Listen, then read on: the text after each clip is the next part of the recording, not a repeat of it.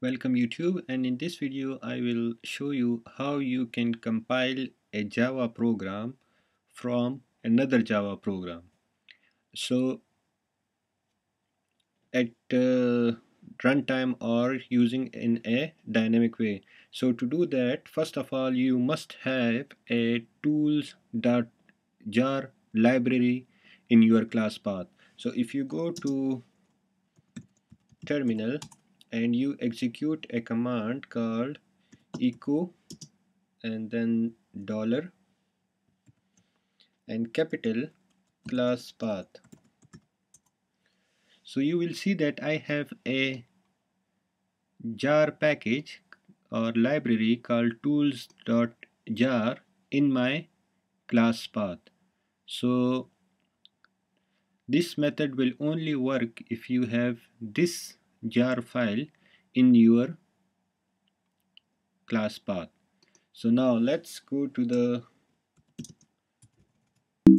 cd slash ls and cd workspace ls and make a directory mkdir test.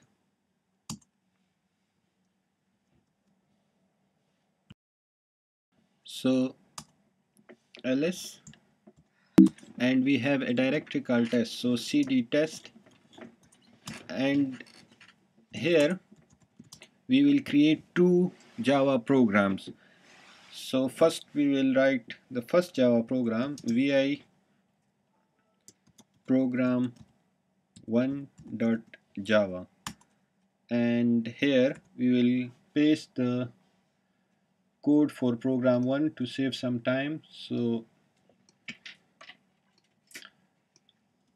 alt C and paste. And let's change it to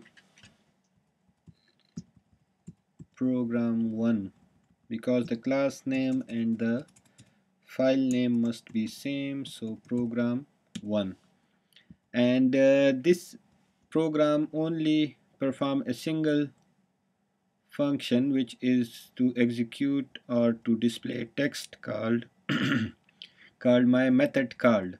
So let's save it. So now we have a program called program1 so let's create another program vi program 2.java and in here we will paste the code which will actually compile the program 1 on execution. So first of all change the class name to program 2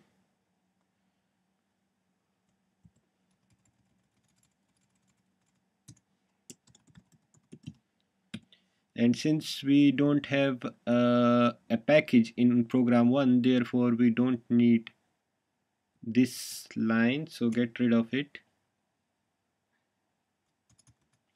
And here we have a string variable called file to compile and in this file and in this uh, string variable we will transfer the name of the file which will be compiled at runtime.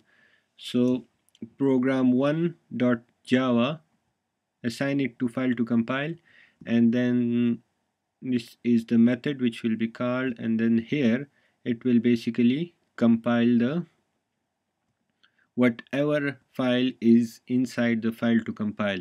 So if the compilation result is equal to 0 which means that the compilation is successful else it will be compilation failed. So this is our don't forget to import the import javax.tools.star and then save it. So now we have two program program 1.java and program 2.java so let's compile program 2.java javac program 2.java and compilation is successful. ls and we can see that we have three files in here. So now if we run the program 2 java program 2 you can see that the output is compilation is successful which means that program 1 is compiled during runtime by program 2 so if we make an ls statement we will see that we will have now four file in the same folder. So you can see that program 1 dot class is actually because the result of program 2 dot class. We can again get rid of program 1 rm rf program 1 dot class and sorry rm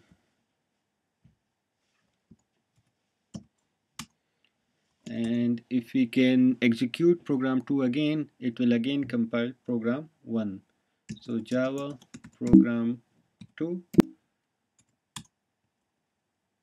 ls-li and you can see program 1 dot class is again appeared which is because of the result. So that's how you can compile a program from another program. Uh, I got this help from www.javabeat.net so for more details you can consult that website. But this is how the procedure is done. Thanks for watching